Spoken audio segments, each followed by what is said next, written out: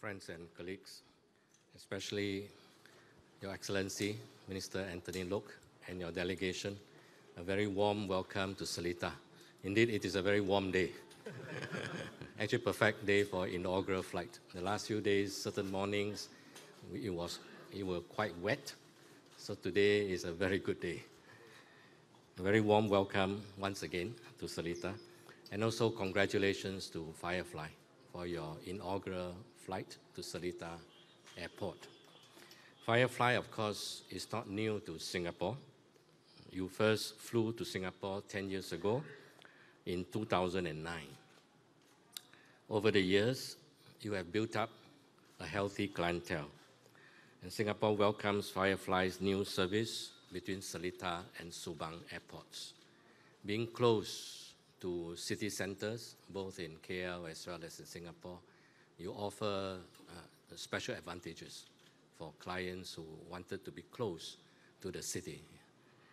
And I'm quite sure your service will be an, an attractive uh, option for many travelers.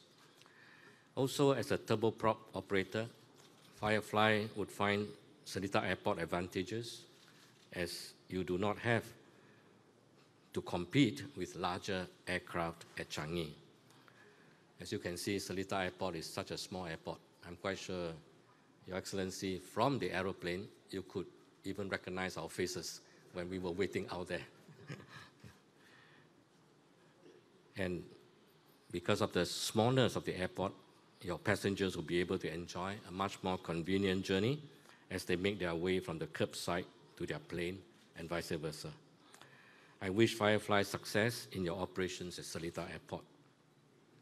I would like to thank Your Excellency Anthony Loke for joining the inaugural flight. Your presence at Seletar Airport signals the very strong bilateral relations between our two countries and also our two ministries. I'll find opportunity to reciprocate your gesture in due course. Thank you.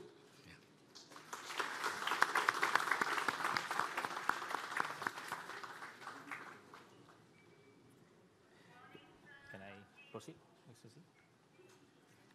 Beijing for No. Excellency, Mr. Boon Wan, Coordinating Minister for Infrastructure and Minister for Transport, Republic of Singapore, officials from both Government of Malaysia and Singapore, members of the media, ladies and gentlemen, tuan-tuan dan puan-puan, good morning, salam sejahtera. It is an immense privilege to be here to commemorate the inaugural flight of Firefly FY3126 from Subang Airport to Seletar Airport.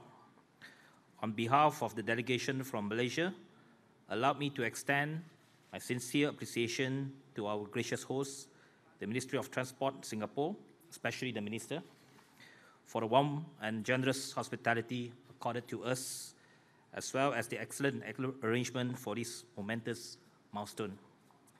Two weeks ago, Excellency Minister Khaw and I were having a press conference on bilateral transport issue in KLIA. One of the issues highlighted was the airspace issue, as well as the operation of Firefly to Seletar Airport. This inaugural flight certainly represents a significant milestone in enhancing bilateral cooperation between Malaysia and Singapore. After a series of engagement and deliberations between both countries, Malaysia and Singapore are able to achieve some agreements on bilateral relation matters, especially on airspace issue. It has resulted a win-win situation today in which Firefly was granted approval to fly into Seletar Airport. And I'm very glad to be on this inaugural flight just now. And in fact, I make some announcement during the flight on behalf of the crew. Oh. Firefly is very excited to return to Singapore to invest in creating greater public awareness of this airport to Malaysians and grow its Singapore operations. Firefly is also improving its frequencies and schedule from Subang Airport to Singapore, focusing on business and corporate customers. This segment is critical in facilitating trade and economic development between the two countries, especially between Kuala Lumpur and Singapore. We are starting with two flights a day for this week but I was told that in the coming weeks, it will be increased to six flights a day through and through. To enhance the flight safety and efficiency into Seletar Airport, Civil Aviation Authority of Singapore, CAAS, and Civil Aviation Authority of Malaysia, CAAM, are working together towards the GPS-based approach to be implemented in Seletar Airport in the near future. Firefly will progressively add more points from Peninsular Malaysia and study the feasibility of resumption of Kuantan, Ipoh, and potentially Malacca. As the airline seeks to mount seasonal service, services in leisure markets and islands around Peninsular Malaysia, it will also ramp, ramp up its chartered services. I was uh, talking to the CEO just now. I told him that to look at other destinations besides Subang to fly into Singapore, because I think this will be very good for our bilateral relationship, as well as to grow our tourism sector in Malaysia. I'm sure many Singaporeans will love to go to Ipoh, will love to go to Kuantan, and especially where Ipoh, there are a lot of hawker foods as well, besides Penang. so these are the segments, these are the destinations which I think it will be very popular among Singaporeans. Ladies and gentlemen, I would like to emphasize the importance of both Malaysia and Singapore, that uh, our bilateral relationships are very, very important, and we treasure this relationship. And both government and uh, both Minister Khaw and myself, we have also agreed to set up a high-level committee to review some of the aviation issues and airspace issues, and we are very confident that we can seek a win-win situation for both countries. With the progress that we have made, I'm confident that both countries can reach mutually beneficial solutions and look forward to strengthening our bilateral cooperation in the aviation and tourism sector.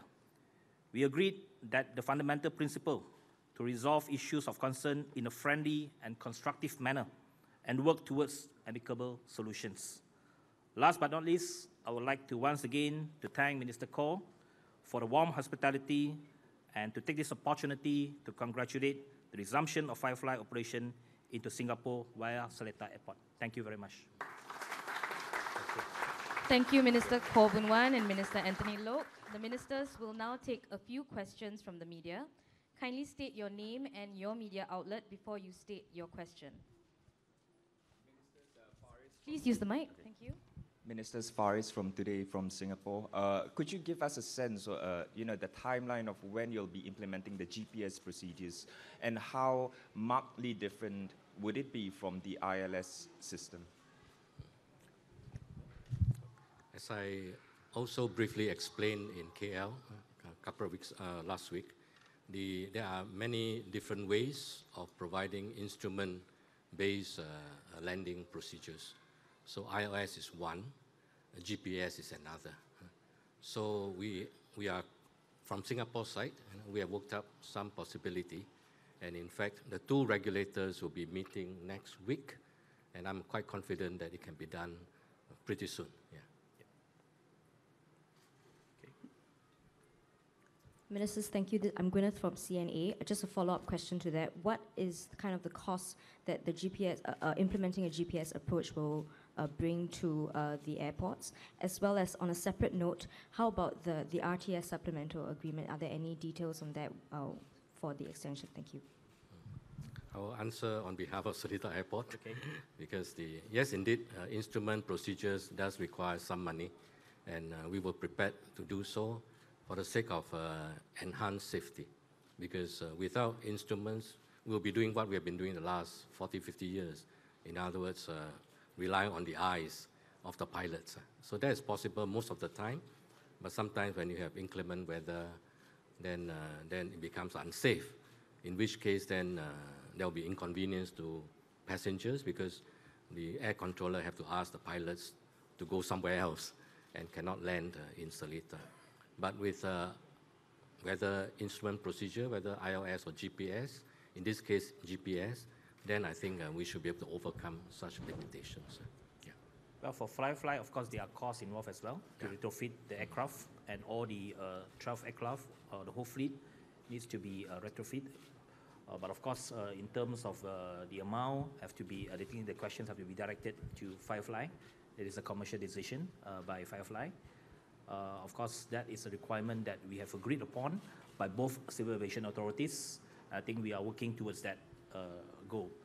Of course, I think uh, the GPS approach is something that we have agreed on both civil aviation authorities, and we are looking forward for Firefly to work towards that in a timely manner. And we are looking at the next maybe six to 12 months.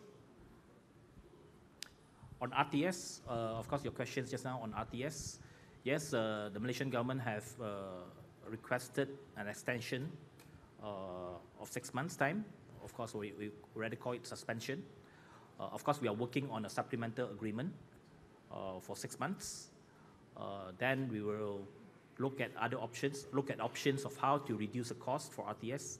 But of, co- of course, at this point of time, we are still committed to, uh, to ensure the project uh, can be continued. But of course, on our side, uh, we are looking at various options on how to reduce the costs. On uh, suspension, I thought I should just add that the, the bilateral agreement, of course, does not provide for suspension.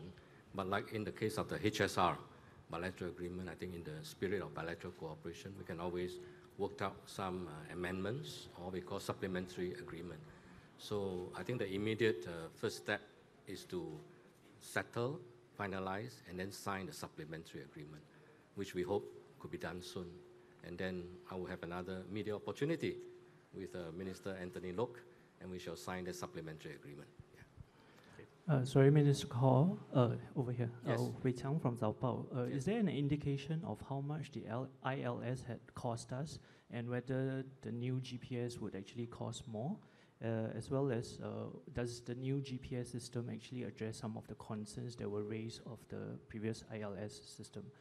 No, as I, as I said, the, uh, there are different approaches, different alternatives to instrument procedures, and GPS is one, ILS is another. In fact, there are other procedures as well. We go for those uh, where most aircrafts are already equipped with, or easier for them to upgrade to.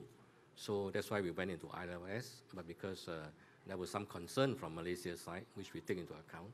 So GPS is, a, is another suitable arrangement. Uh, I don't think there's any loss in terms of safety.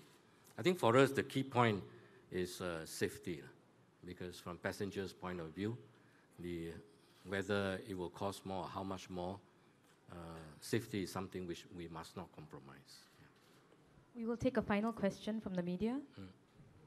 Hi, Sin from Straits Times Singapore. I wanted to check, um, are there any updates on the high-level committee that has been convened to look at airspace issues? The committee has been formed, so they are in the process of talking. I think the first step is, as usual for committees, settle the terms of reference. My advice to them is don't spend too much time arguing over terms of reference. And I think get the process going. I think the first time I met uh, Minister Anthony Loke, that was his uh, very friendly advice to me. That I think the key point is get the process started. We know Malaysians' uh, uh, aspirations and ambitions, and this is an important topic for Anthony, for Mr. Loke's uh, ministry, and we will take that into account. I also shared with him, and he expressed understanding of some of the core interests from Singapore point of view. But as Minister Anthony Loke put it, I think with the right goodwill and, and, and win-win, we can always find some uh, common ground and some win-win solutions. This I'm very confident. Yeah. Thank you, Minister Khaw and Minister Loke. We would like to invite the ministers to take their leave from the lab. Thank you. Thank you very much. Can we give our ministers a big round of applause, please? Thank you.